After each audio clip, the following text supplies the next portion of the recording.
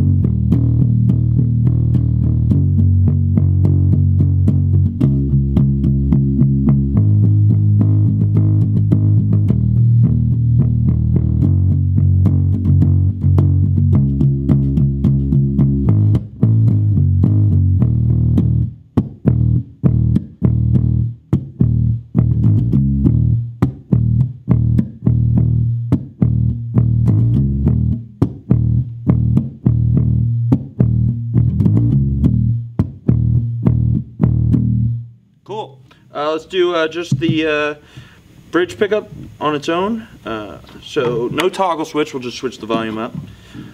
Cool. We're gonna use a pick on this one. Check it out.